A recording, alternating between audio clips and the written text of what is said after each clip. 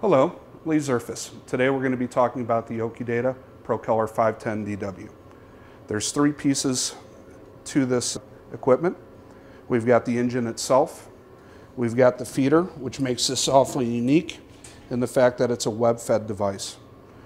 The last piece that comes in is the rewinder that requires some minor assembly. All you need is a Phillips screwdriver and about a half hour to 45 minutes worth of time. Make sure that you follow the directions step by step and you'll have no problem walking yourself through the installation. There's several components to the front piece of this. We'll talk about the consumables for a couple minutes here. This is an LED-based technology. There's no laser.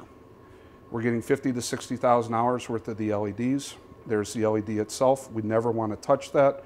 We've got four toner cartridges, cyan, magenta, yellow, black, and they are part of the imaging drum itself.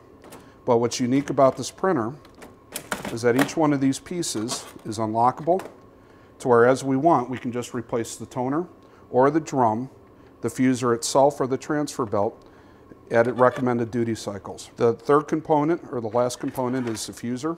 It's rated for about 100,000 impressions. Locks into place. If I pop the cover up, you'll see below here, here's the transfer belt. And these are the consumables to the piece, to the engine itself. Loading media is as simple as this. Where we have our media on a three inch core. Slides onto the machine. We're going to back it up all, to, all the way to the rear guide. Loading media. There are two yellow tabs that we're going to press down. That opens up the door. Second thing we're going to do is open up the clear panel where the sensors are at. The eyes open outward.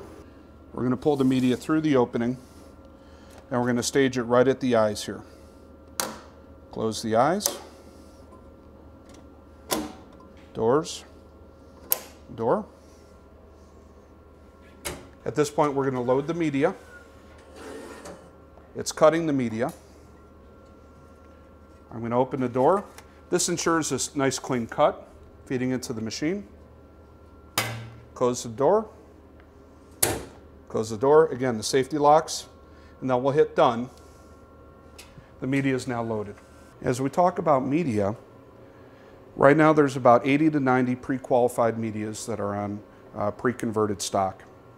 There's 46 processes or 46 things that are checked to ensure that the temperature and the running speed is correct and it correlates to the proper media. In this case here, we've got a three across four by six label. It's a semi-matte stock. The first step that we need to do is load it into the media manager itself so that the device recognizes what media is going into the machine. From that point there, as we load the media on the control panel on the side, it's going to acknowledge that media and the same media that's called up in your media manager, as well as on the control panel of the feeder itself, are going to match one another. That's going to ensure that the speed and temperature is correct as we image the job through. So at this point, we've released the job from the queue. The data is arriving here at the console. It's being processed.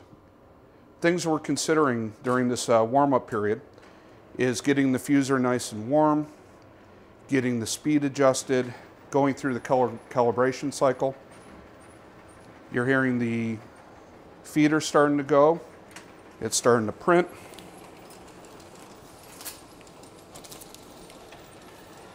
And we're off to the races.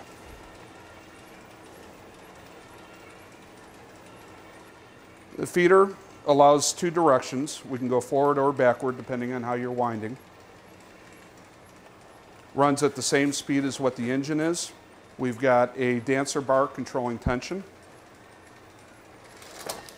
And when the job's done, we're ready to go.